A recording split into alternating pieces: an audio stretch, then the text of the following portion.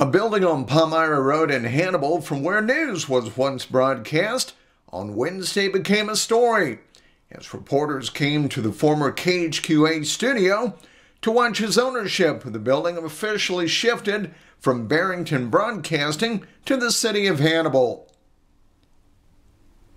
Hannibal Fire Chief Tim Carter outlined the fire department's plans for the structure. No, we're going to utilize the building as our new administrative offices once the renovation work is done. Uh, we'll move uh, the, myself, deputy chief, training officers, and uh, receptionists out here.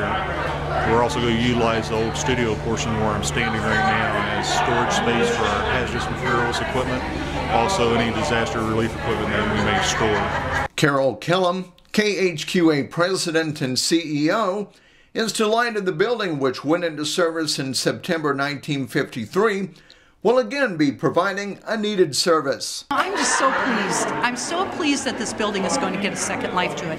It's a great piece of history. It's a piece of history for the city of Hannibal, for KHQA, and to watch it become become something new uh, and used by the city is is we couldn't think of any other better way uh, to to extend the life of this building.